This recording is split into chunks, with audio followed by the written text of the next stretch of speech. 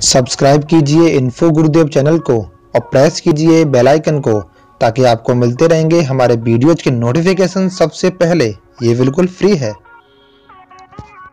नमस्कार दोस्तों मुलायम सिंह यादव का जन्म 22 नवंबर उन्नीस सौ उनतालीस को ग्राम सेफई, इटावा, उत्तर प्रदेश में हुआ था। यह एक भारतीय राजनेता है, जो उत्तर प्रदेश से तीन बार मुख्यमंत्री व केंद्र सरकार में एक बार रक्षा मंत्री रह चुके हैं। वर्तमान में यह भारत की समाजवादी पार्टी के अध्यक्ष हैं। इनके पिता का नाम सुधर सिंह व माता का नाम मूर्ति देवी था। मुलायम सिंह यादव के पिता एक किसान थे। मुलायम सिंह अपने पाँच भाई बहनों में रतन सिंह से छोटे व अभयराम सिंह, शिवपाल सिंह राम गोपाल सिंह और कमला देवी से बड़े हैं। दोस्तों, पिता सुधर सिंह उन्हें पहलवान बनाना चाहते थे।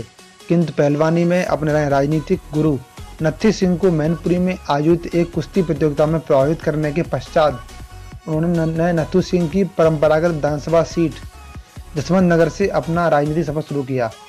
राजनीति में आने से पूर्व मुलायम सिंह आगरा विश्वविद्यालय से स्नातकोत्तर एम ए व जैन इंटर कॉलेज करेल, मैनपुरी से बीटीसी करने के बाद कुछ दिनों तक इंटर कॉलेज में अध्यापन कार्य भी कर चुके हैं। मुलायम सिंह उत्तर भारत में बड़े समाजवादी किसान नेता हैं।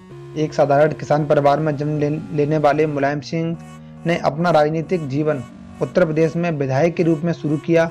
बहुत कम समय में ही मुलायम सिंह का प्रभाव पूरे उत्तर प्रदेश में नज़र आने लगा। मुलायम सिंह उन्नीस सौ सड़सठ में पहली बार विधानसभा के सदस्य चुने गए। उन्नीस सौ बानबे में उन्होंने समाजवादी पार्टी बनाई।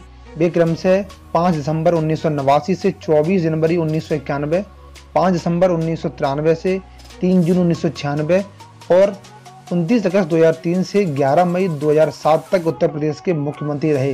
इसके अतिरिक्त वे केंद्र सरकार में रक्षा मंत्री भी रह चुके हैं। उत्तर प्रदेश की जनता मुलायम सिंह को प्यार से नेताजी कहती है। 2012 में मुलायम सिंह की पार्टी समाजवादी पार्टी को उत्तर प्रदेश के विधानसभा चुनाव में बहुमत मिला।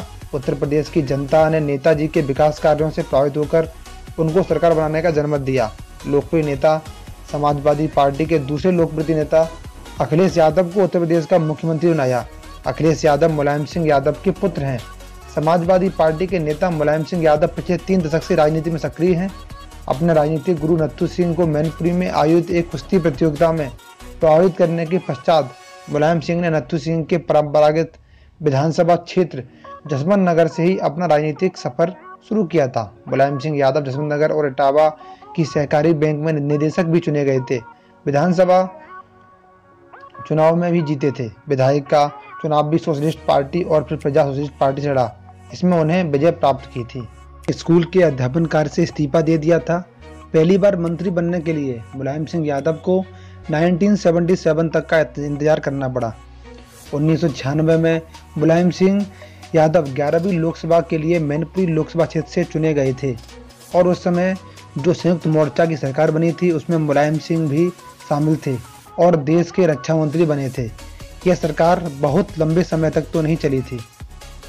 मुलायम सिंह यादव को प्रधानमंत्री बनाने की बात भी चली थी। प्रधानमंत्री पद की दौड़ में वह सबसे आगे खड़े थे, किंतु उनके सजातीय ने उनका साथ नहीं दिया। लालू प्रसाद यादव और शरद यादव ने उनके इरादे पर पानी फेर दिया। इसके बाद चुनाव हुए तो मुलायम सिंह संभल से लोकसभा में वापस लौटे। असल में वो कन्नौज से भी जीते थे, किंतु वहाँ से उन्होंने अपने बेटे अखिलेश यादव को सांसद बनाया था। तो दोस्तों, आपको नेताजी की जो जीवनी है वो कैसी लगी है? अगर अच्छी लगी है तो वीडियो को लाइक करें, शेयर करें और चैनल को सब्सक्राइब ज़रूर करें। जय हिंद, जय भारत। वीडियो अच्छा लगा हो तो लाइक करें, शेयर करें और चैनल को सब्सक्राइब करना ना भूलें। और हाँ दोस्तों, अगर आपके पास कोई सवाल या सुझाव है तो कमेंट बॉक्स में ज़रूर लिखें। धन्यवाद। जय हिंद। जय भारत।